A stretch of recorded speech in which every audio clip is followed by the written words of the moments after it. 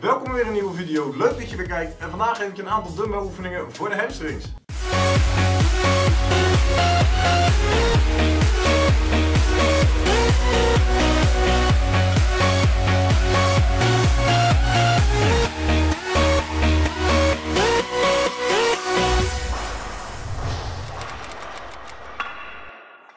De eerste oefening is de dumbbell lying leg curl. Voor deze oefening heb je een bankje, een tafel of iets anders plats nodig waar je op kunt gaan liggen.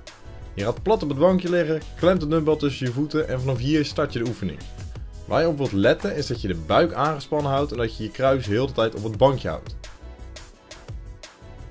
Wanneer je moe begint te worden, begint je rug te hollen en komen je billen automatisch omhoog. Hierdoor wordt de oefening een stuk lichter en voer je hem ook nog eens verkeerd uit. Probeer je dus op te letten. De volgende oefening is een step down. Een step up. Die kennen heel veel mensen wel. Dat is deze oefening. En wanneer je mijn andere video hebt gekeken, dumbbell oefeningen voor de quadriceps, weet je dat ik adviseer om niet te springen.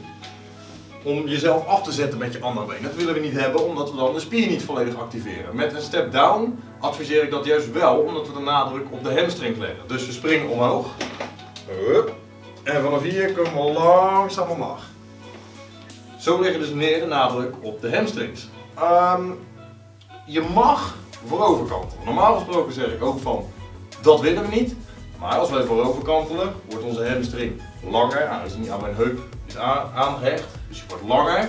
Vandaar mag je voorover kantelen. Zolang je je rug maar in een goede, stevige positie houdt. Zoals ik bij wel meerdere oefeningen zeg. Hou je rug stevig recht, schouderbladen naar achter. En zorg dat je hoofd en nek in één lijn zijn. Dus persoon A die zal hem misschien wel rechterop uitvoeren en persoon B zal hem misschien wel helemaal plat uitvoeren.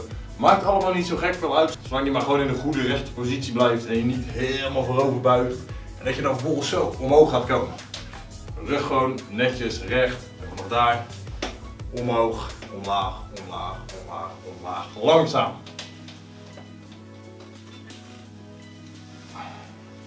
Dat is de dumbbell step down. De dumbbell Romanian deadlift. Deze oefening lijkt op een normale deadlift, maar het verschil is dat we de dumbbells niet op de grond neerleggen, maar continu beet houden. Voordat je met de oefening begint, kies je een punt op de grond 2 à 3 meter voor je en neem je een grote hap adem. Je spant je buik aan en vanaf daar breng je de dumbbells tot net onder je knieën. Wanneer je het lastig vindt om je billen en hamstrings aan te spannen, kun je je voeten recht laten staan. Maar net wanneer je omhoog wilt gaan, draai je je tenen naar buiten toe terwijl ze vooruit blijven staan. Het is dus niet de bedoeling dat ze bewegen. Hierdoor zal je automatisch je billen en hamstrings meer aanspannen dan wanneer je dit niet doet. En als laatste wil je altijd lucht in je buik houden, schouders naar achteren trekken en de borst groot houden. Wanneer je dit niet doet, dan is de kans vrij groot dat je rug begint te bollen en dan voer je hem zoals ik hem hier nu voor doe verkeerd uit. De single leg deadlift. Deze oefening voeren we bijna hetzelfde uit als de Romanian deadlift, alleen nu voeren we hem uit op één been. Wanneer je deze oefening lastig vindt omdat je bijvoorbeeld een slechte stabiliteit hebt, kun je hem uitvoeren zonder dumbbells en zo kun je met je handen de grond aanraken.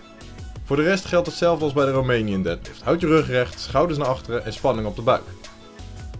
Wil je nog meer dumbbell oefeningen zien? Neem dan eens een kijkje op mijn kanaal. Daar heb ik een aparte playlist gemaakt voor elke grote spiergroep in je hele lichaam. En daar heb ik dan een x aantal dumbbell oefeningen voor. Wil je nou iedere week een nieuwe video ontvangen? Abonneer je dan en dan zie ik je volgende week.